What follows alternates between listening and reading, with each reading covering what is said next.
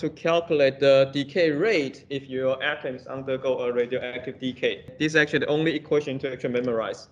So this is actually the integrated rate law for the first order reaction. A naught represent the initial concentration of your atom. AT is a concentration of atom at time t.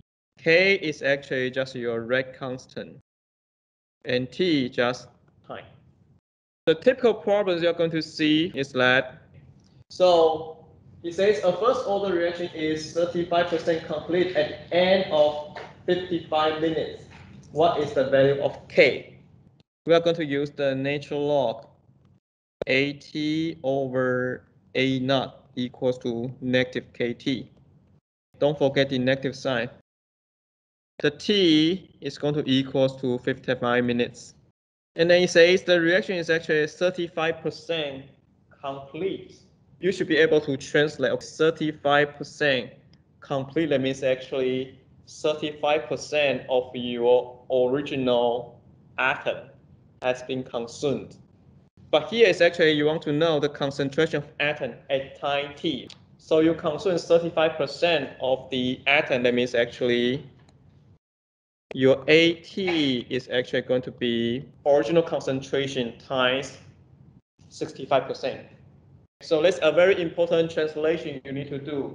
You doesn't care about how many things are consumed. This equation only care about how much of the reactants I still have at this specific time. Things this says okay, the reaction actually is 35% complete. What it really want to say is actually there's still 65% of the reactant remains. So you need to know your AT is equals to your 0.65 A naught. So once you have this, then you can just put these things inside this equation. Okay, your AT is 0.65 A naught. Origin concentration is actually A naught equals to negative K times T is actually 55. So A naught, A naught cancel out. By doing this calculation, you should see your K is going to equals to negative log, natural log 0.65 divided by 55.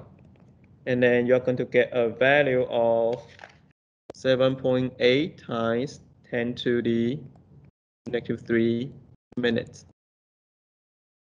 The keyword is actually if you see this word complete, you want to actually translate into the situation that have the information of how many of the reactant remains.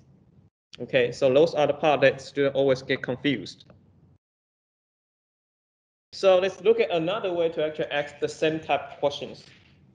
A sample of aluminum 32 is found to have activity of 400, and after 10 hours, its activity has decayed to 200.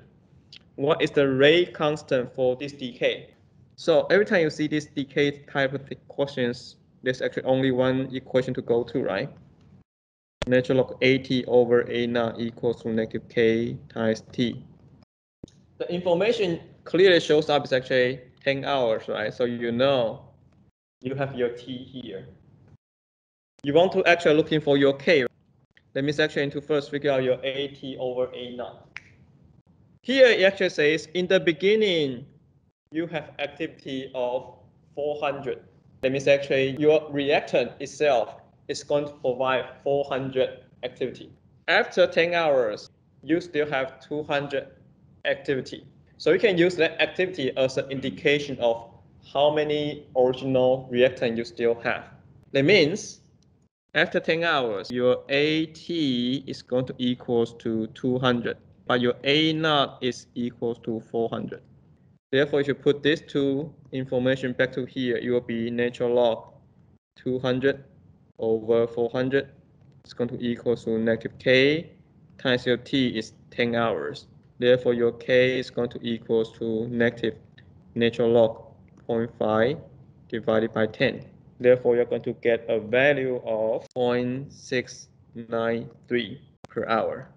So you should notice that the unit you got is actually going to associate with the unit you put in. So if your t here use hours, then it becomes per hours. If you use minutes, it becomes per minute. Okay? So that's pretty much the standard questions you're going to encounter when you calculate the decay kinetics. the important thing is actually you don't care about how much of the reaction complete. What you care about is actually how many reactant remains. Then you can apply the first order integrated rate law to get the correct answer.